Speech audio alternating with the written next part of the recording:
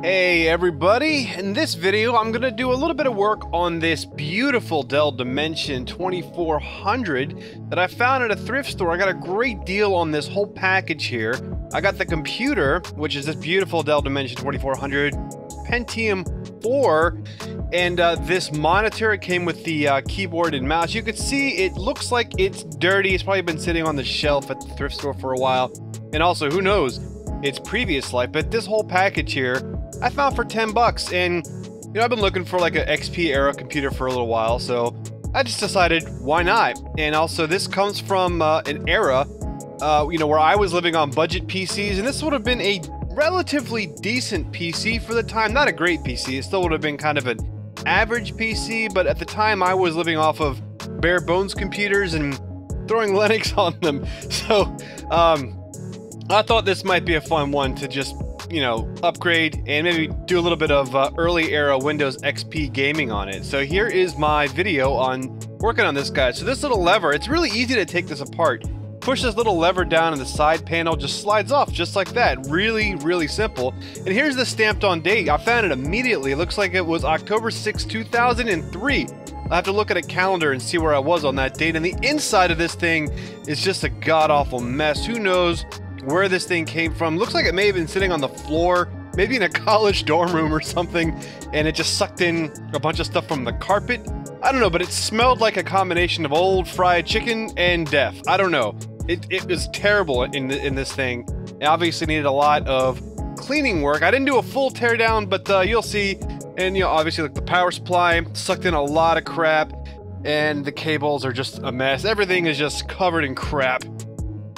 So we're gonna see if we can clean this thing up a little bit. I'll just get started here by uh, unplugging. We got an IDE cable here that plugs in the main hard drive, pulling that out, and then taking the face panel off. It's pretty easy. There's two little levers on the left side, and then these two little hooks on the right side, and it slides off pretty simple. But look at that! Oh my god, that was disgusting. No matter how it looks on the camera, it, it's just yeah, it, that was gross and uh, half of it fell off before this shot was even done. So I grabbed the vacuum and sucked it off, and wow. Not only did that sound weird coming out of my mouth, but that does look a lot better after getting all that stuff off of there. Now we'll just grab a paper towel with some 70% alcohol, which I like to use alcohol because it gets rid of the gunk and the muck, and 70% isn't too strong where it's going to destroy too much, unless, you know, there's certain stuff like stickers you want to be careful about, of course, but look at this. I mean, ugh, yeah. And I'm also going to do the same thing on the face here, rubbing it down, just making sure that I get the crap off, and then using this toothbrush to get into the little crevices that I just can't get into. And I'm just going to play Russian roulette with the vacuum. You always want to be careful when you use a vacuum inside of a case like this, because you never know what you're going to suck up. And here I'm going to take out the modem that was in there. As you can see, little 56K modem, pretty cool. But uh, it needs a little bit of a bath, so I'm going to clean it up and make it look, look all nice and good. I mean, even old modems deserve a little bit of, you know, beauty once in a while. And try to get as much of this uh, up with um, some alcohol. The next thing I'm going to do is take out this little hard drive bay by taking this screw out here. And there's also a screw on the bottom.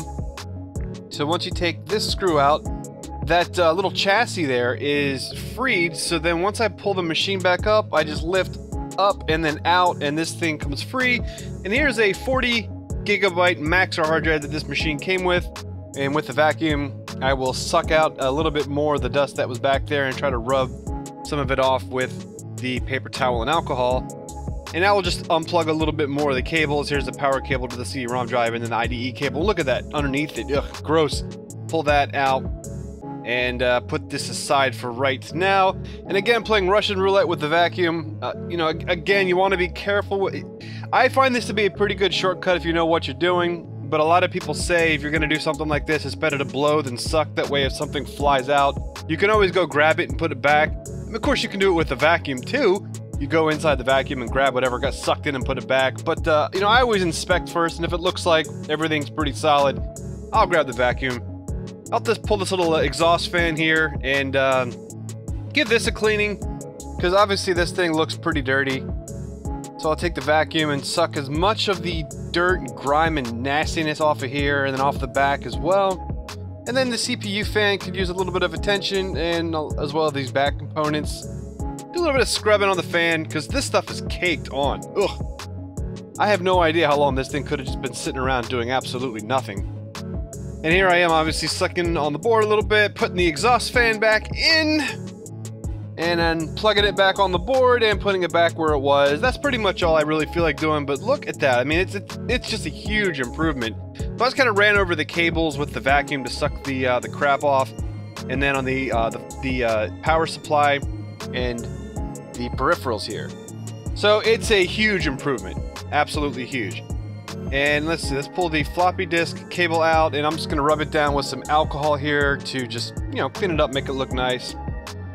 Put it back where I found it, and I'm doing the same thing with the IDE cable for the CD-ROM drive, rubbing it down with alcohol, and then I'm putting it back where it was, and just sort of putting the machine back together. And I don't know why I did this, but I put the modem back in. I guess maybe just to put it in one place. Maybe I quit for the day.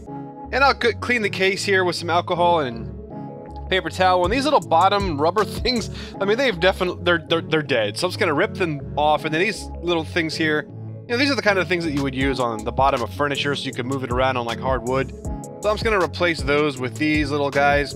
They work really good in these sorts of circumstances as I uh, continue to clean the externals of the workstation and blow some air into the fan. Now, I'm not going to really show all the work I did on the monitor. The monitor was pretty gross, but there was just one highlight, which is this here. There was some weird, I don't know, like some Velcro thing. I don't know, got it off with some alcohol. No big deal. But the monitor was in pretty good shape. I was pretty happy with it. Now it's time to upgrade the RAM. So it came with 512 megabytes of RAM, and here I got 2 gigs of RAM, which is the most that this board will support. So I'll take the original RAM chip out. And then here are the RAM chips that I got on eBay, which were actually very affordable. So there's the 1 gig stick and the 2 gig stick, just in case you don't know how to install RAM, you do now. I also got my hands on this uh, GeForce 6200 512 megabyte uh, PCI graphics accelerator. Now I'm stuck with PCI because the uh, Dimension 2400 did not support AGP. You can see solder points on the board where an AGP card would go for perhaps a, a higher model of the Dell Dimension computers because they probably just used the same printed boards and then just added some additional components. But like I said, this one didn't have that, so I'm stuck with PCI, so I'll stick that card in there. And I'll just go ahead and put this little drive bay back in there with no hard drive in it because I'm going to stick a solid state drive in here. And uh, I did notice that the floppy disk drive was broken. I'm not going to go through my adventure with that, but I did end up taking it apart. There were lots of broken pieces in there.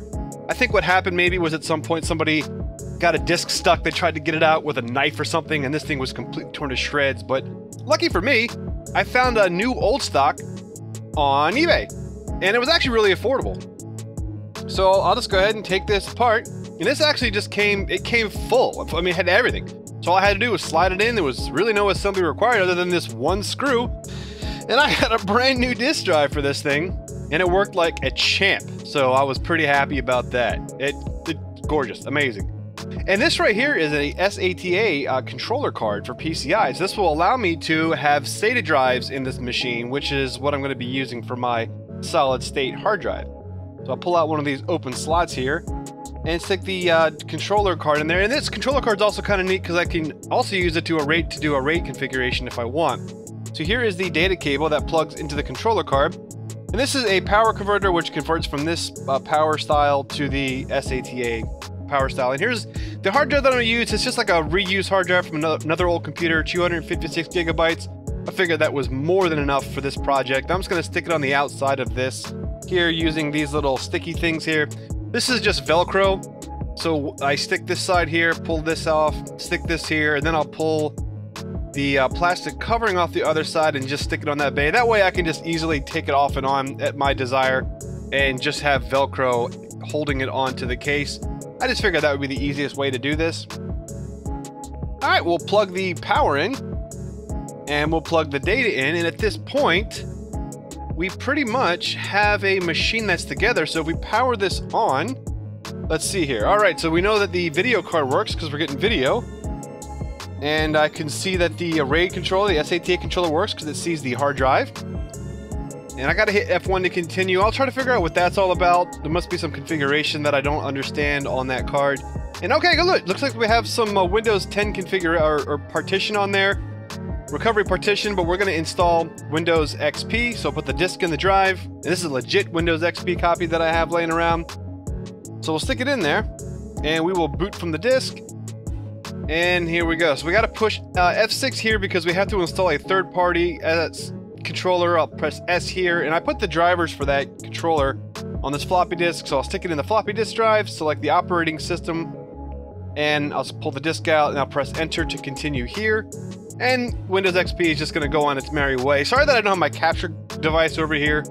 It, it would have been too much of a pain and uh, just gonna agree to install Windows XP. And here are the partitions that were on there. So there's that that main partition, and this is probably that recovery partition that I tried to boot from just a minute ago. And we'll just format this like it's a new, new hard drive. Doopy doopy doo. All right, not too shabby. All right, Windows is gonna go on its merry way. I'm not gonna spend too much time on this, but it's asking me for the floppy disk again, so I'll stick it in there. And there we go. All right, so I'll just do all this stuff and Make sure that my juice is in shot so that y'all know that we're having a good old time here.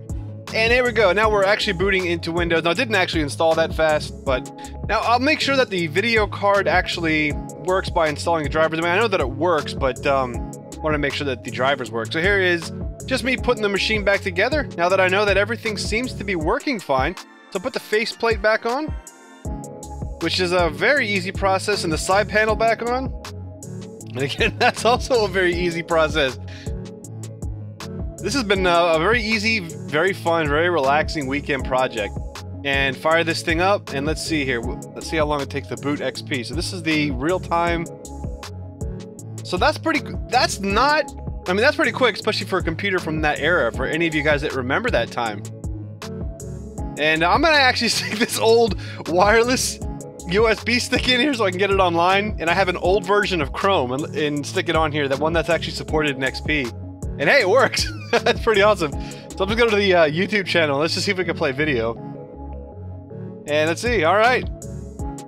YouTube didn't even exist when this computer came out. At least I don't think it did. And it's playing just fine. Not bad at all. Yeah. Ooh, look at that. Playing like a champ. Yeah, and on top of that, we're downloading some updates. This is a really fun project, and I can't wait to maybe play some games and do some other cool stuff on this at some other time. So uh, thank you so much for watching, and I'll see you guys in the next one. Bye.